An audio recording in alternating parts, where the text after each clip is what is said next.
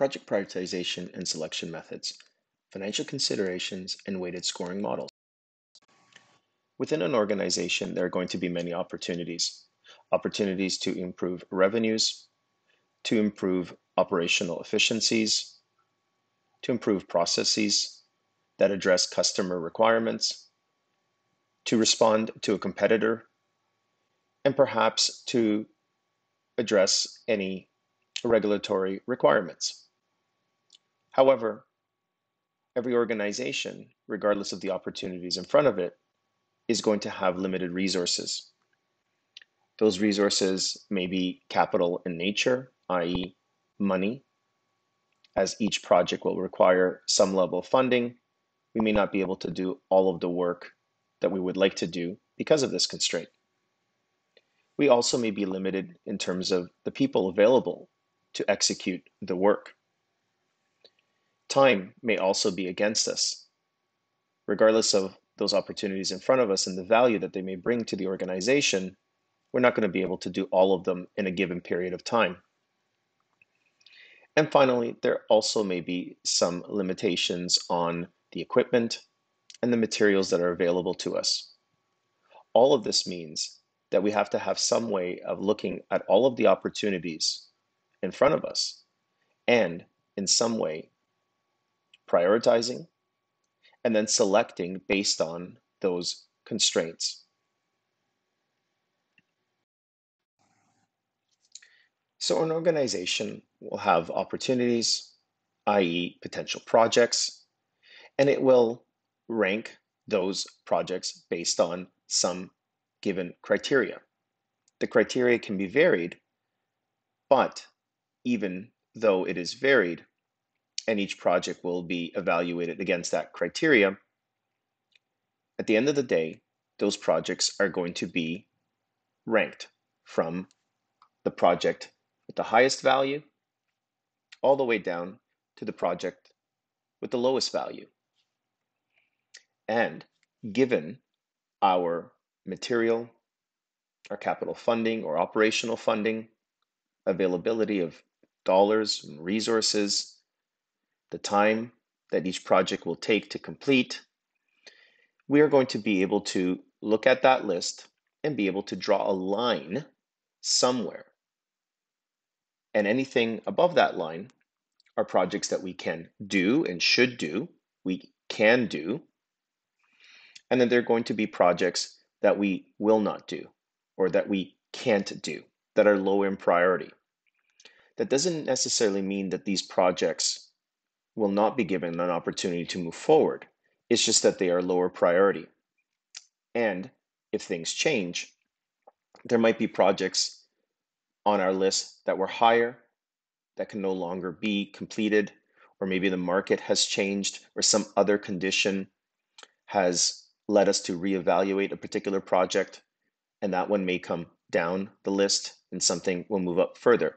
But for all intents and purposes, we are able to look at those opportunities in front of us and be able to determine which which of those opportunities move towards projects and which of them still remain potential opportunities but may and most likely not be able to be done within this current period. So, how do we decide? How do we prioritize our opportunities? How do we determine which move on to projects, i.e., work that we decide to direct our resources, our time, our money, our material and equipment, and those that remain for the moment below our ability to execute on. So, all organizations will have a strategic plan, a list of strategic goals. And it's important to be able to evaluate the opportunities against those strategic goals. How well does each project line up against that particular goal or maybe multiple goals? How does it enable the growth of revenue? How does it enable the growth of the organization? Things like market penetration. How does it potentially allow us to save money through operational efficiencies, and so on.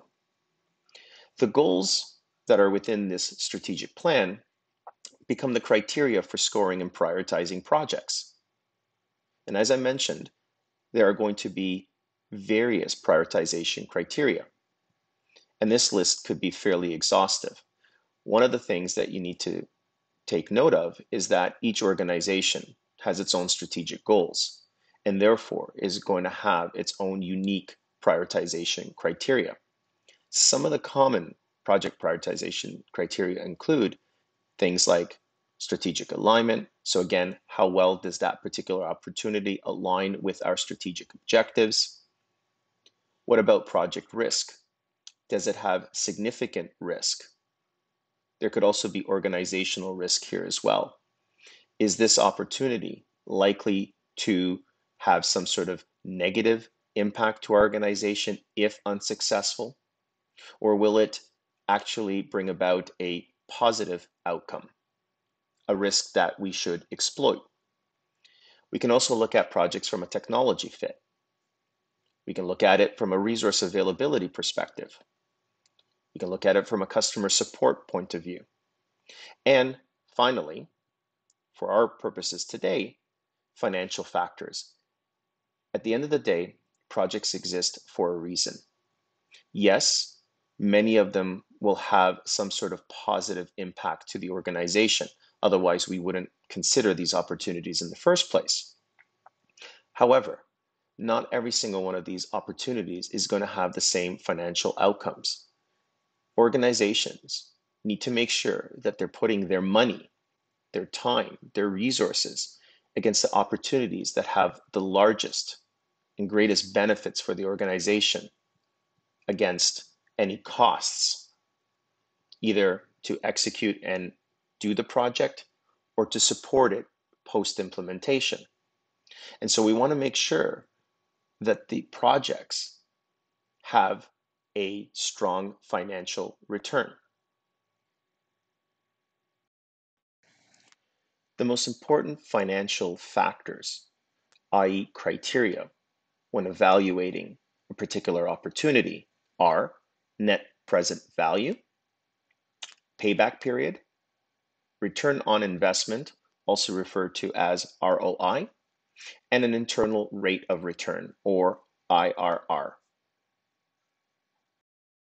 So let's look at these financial factors in a little bit more detail. But first, let's define some common terms. Outflows are costs.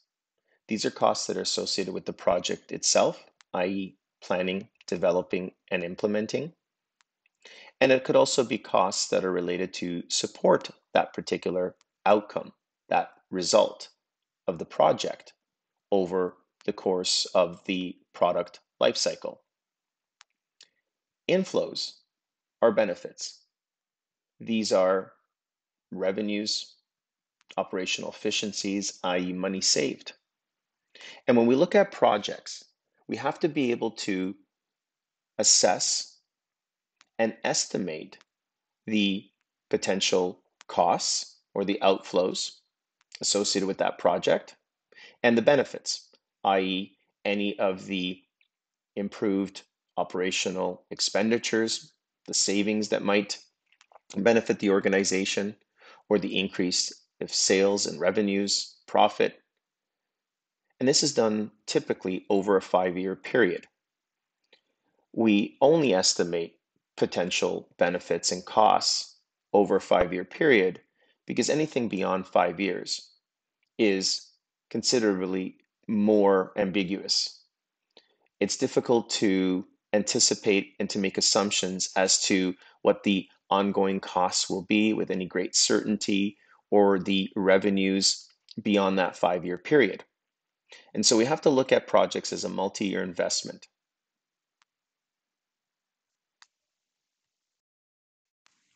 Next, consider the following. Because our projected estimates of costs and benefits are over a five year period, it's not enough to just look at that particular value and assess this project or compare this project against another, against the third, against the fourth, by simply looking at the estimates over the five years as they are. We have to recognize that there is a time value associated with money. Money is worth more today than the same amount in the future. And this is due to its potential earning capacity. So, because we have cash flows, expenditures, or benefits flowing in different years year one, year two, year three, year four, and beyond in order for us to be able to accurately compare amounts that are flowing in different times, we must bring them to the same moment, i.e., today, by discounting the future amount. So, what that means is if we have $1,000 of projected revenue in year five, we have to recognize that it is not $1,000 in terms of today's dollars, in today's value. It's going to be something a bit less. And so we cannot compare, for example, two projects. One that has $1,000 in year four and another project that has $800 in year five. The same way, we have to take $1,000 from year four and bring it into today's value. And we have to take the $800 from year five and bring it to today's value. And then compare. So let us compare first present value to future value. Present value is the current worth of future money, while future value is the value of a current asset at some specified time in the future. And we can convert one to the other. And so we can compare current or present values to some time in the future, or we can compare future dollars to the present. And we do it in the following way. Present value can be converted to future value by using something called compounding, which I believe most of us would be aware of, at least from an investment point of view, or you know, just simply our money growing, albeit slowly, in a savings account. Future value is converted to present value by discounting. Both of these boxes show the particular formula to convert, i.e., present value to future value or future value to present value. Our focus will be on present value. That is the practice of taking future values and converting them to present values. And that leads us to our first financial criteria or consideration, our first evaluation. And this is the present value formula. So let's look at the present value formula in a little bit more detail. Present value is calculated by taking the future value, the one that we want to convert into today's dollars, i.e. present value. And we multiply that by what we refer to as the discount factor. And the discount factor in this particular formula is calculated by 1 divided by 1 plus i, and here i is the discount rate, all to the power of n where n is the year in which the future value takes place.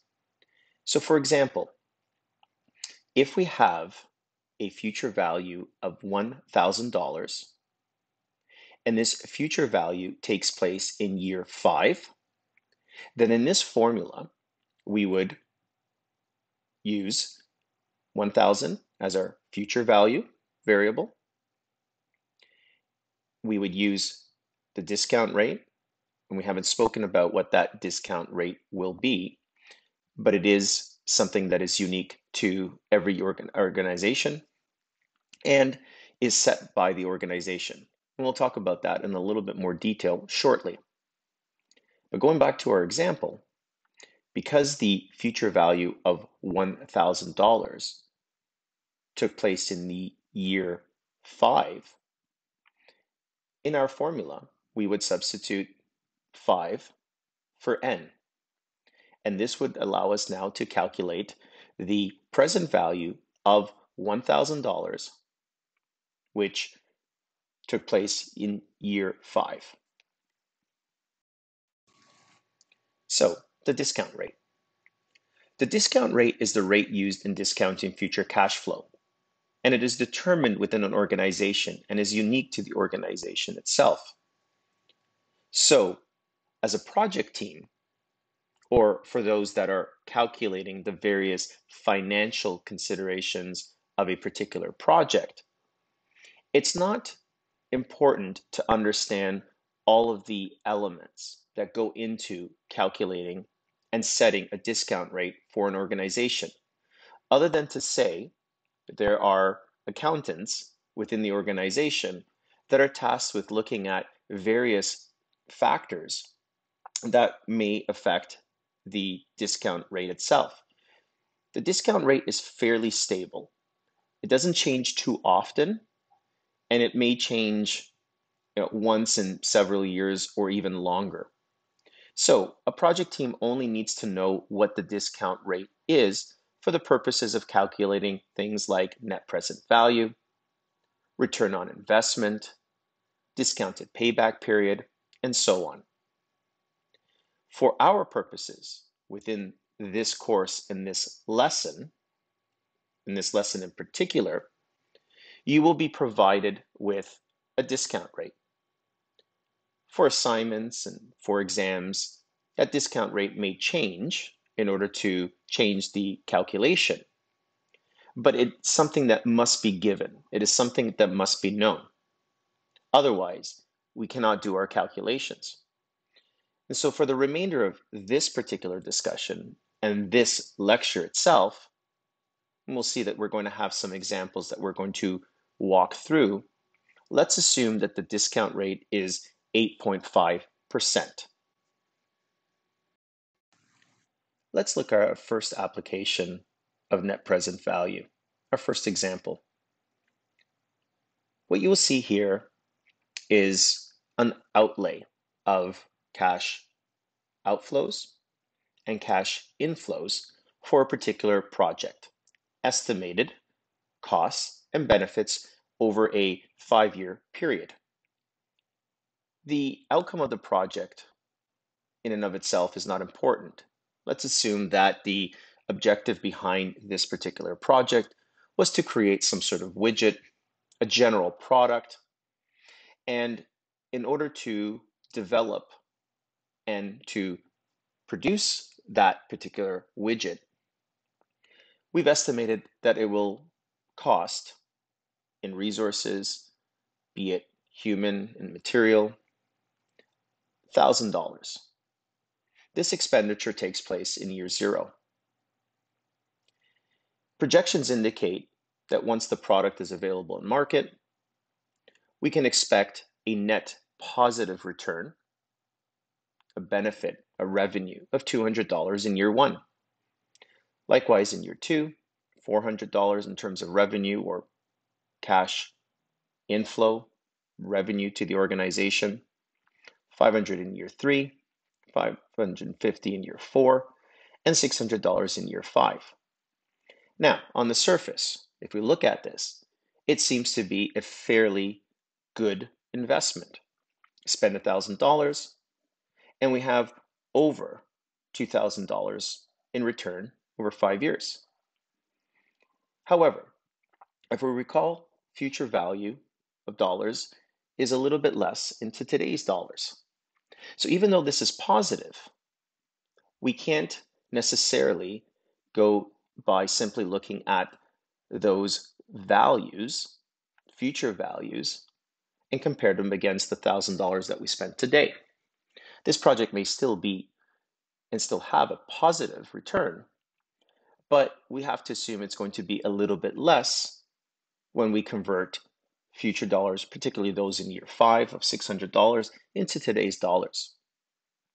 And so this is where net present value comes into play.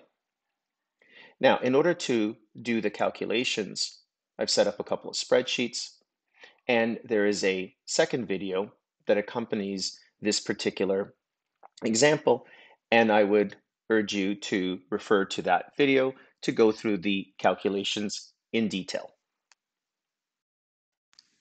So what is important to note about net present value? First, net present value has to be greater than zero in order for the project to be considered favorable. If NPV is less than zero, this is not an attractive option. It is not an attractive project. The organization should not invest its efforts, its resources into pursuing this particular opportunity. Projects with the highest NPV are those that are the most attractive. And so when you have three opportunities in front of you and you've calculated the net present value, the NPV for each particular project, and if you only have the ability to do one of those projects, and we're only looking at NPV as a single criteria for selecting, then the project we would select and should select is that one that has the highest NPV. NPV should also be calculated, as we've seen, over a five-year period. This is pretty much industry standard. Anything beyond year six, even if we have projections, even if this particular product is still viable and is still returning some positive revenue, some benefits, we can't necessarily and should not necessarily include those future revenues or those future flows of cash into our calculation because anything beyond year five becomes much more ambiguous, less understood. It's more prone to all kinds of happenings in the marketplace. It's just too difficult to predict and to have any degree of confidence about those cash flows beyond the five-year mark. Let's look at our next financial factor, or factor used in determining the priority of a project. Discounted payback period.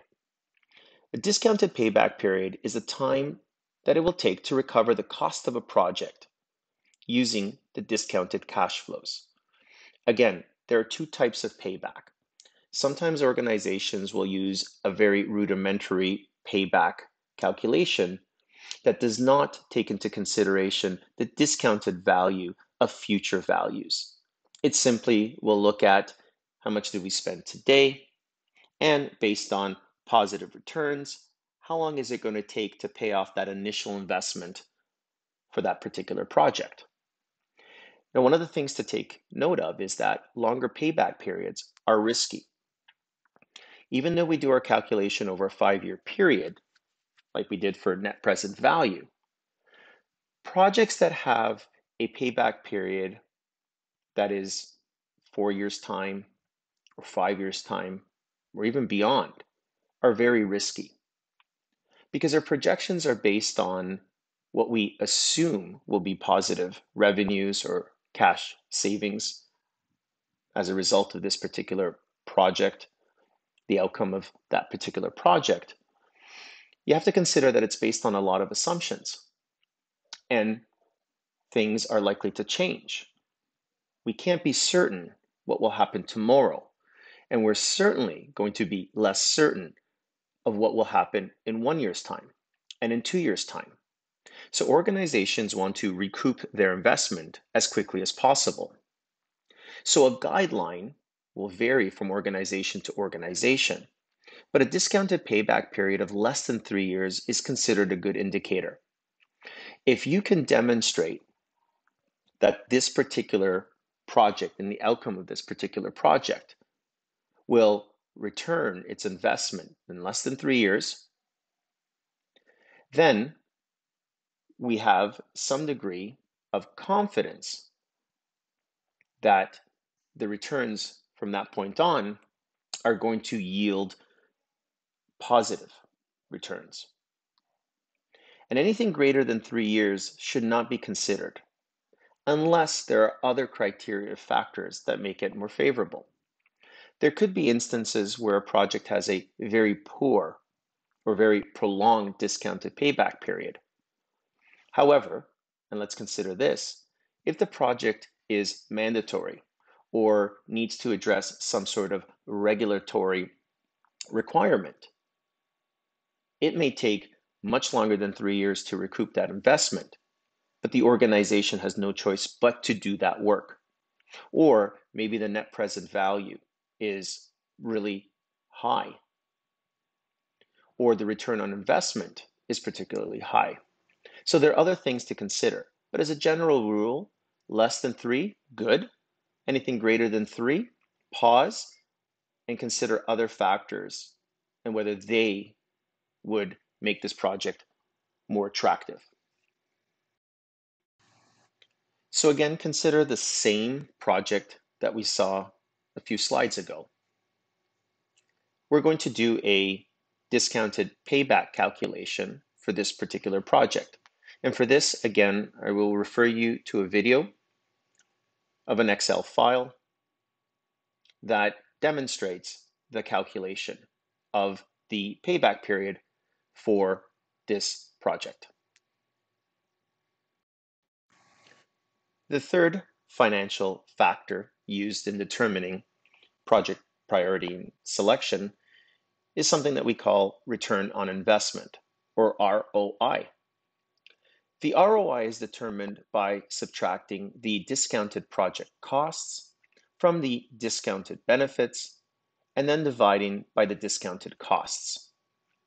So for example, this is a very simple example, but consider the investment of $100 today.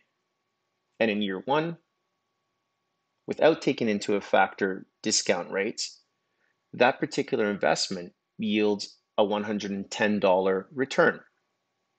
So in this case, the cost is 100, that's the initial investment, and the benefit is $110. This is our quote unquote revenue, our positive cash flow. And so to determine the ROI in this example, we would subtract 100 from 110. So for example, here, the 110 is again our benefit, 100 is our cost, and we divide that result, in this case $10, by the initial investment or the cost, which was $100. And so we have 10 divided by 100, which indicates that it is a 10% return on investment. So once again, we will use the previous example to demonstrate the calculation of the discounted ROI. The final financial factor that we will look at is rate of return, or commonly referred to as internal rate of return, IRR. Many organizations have a minimum acceptable rate of return on an investment. The organization bases its required rate of return on what it could expect to receive elsewhere for an investment of comparable risk.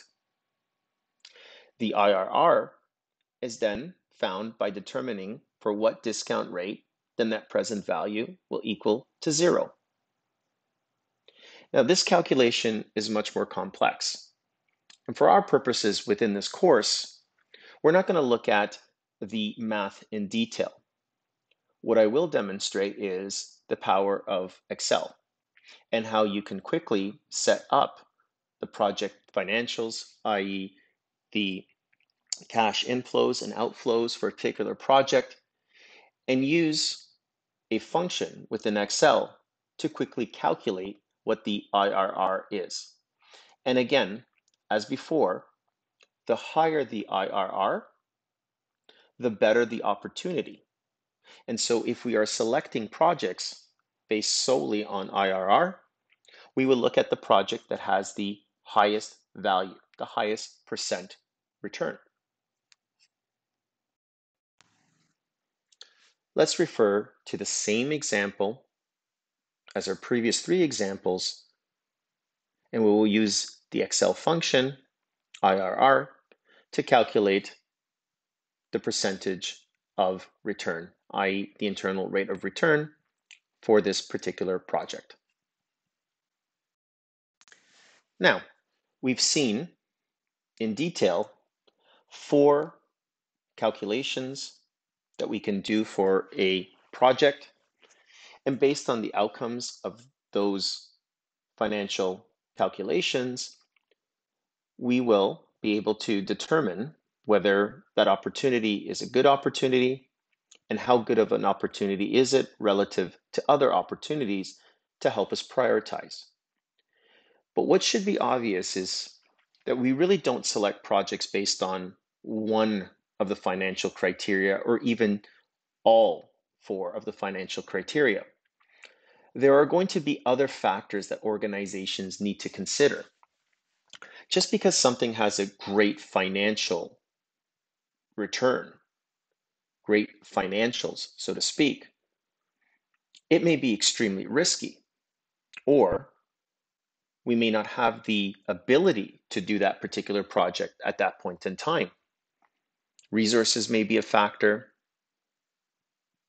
There also could be the project's ability on how it lines up with other strategic objectives within our organization. And so when it comes to selecting projects, again, prioritizing and selecting, we want a method that allows us to look at the project across many different factors. And organizations will use, at its most simple sort of constitution, a weighted scoring model. A weighted scoring model is a tool that provides a systematic process for, for selecting projects based on many criteria or multiple criteria. So how does that work? How do we create a weighted scoring model? What is a weighted scoring model? Well, a weighted scoring model, as we saw previously, is a way of considering multiple factors in our selection process or in our prioritization process. Those factors are established by the organization. And the term weighted implies that not all of those factors have the same value or the same priority, i.e., the same weight when it comes to selecting. Some the organization will value more than others. And therefore, each of these factors won't contribute equally, but will contribute in some way relative to the other. And we use a weighting system. So we have to decide first and foremost what criteria are important to us. And then we have to decide on the relative importance of these criteria. And often it is a percentage of total 100%. So as we will see, we could have five criteria within our selection model. One of those criteria could be more important than all other four, and maybe it has a relative weighting of 40%.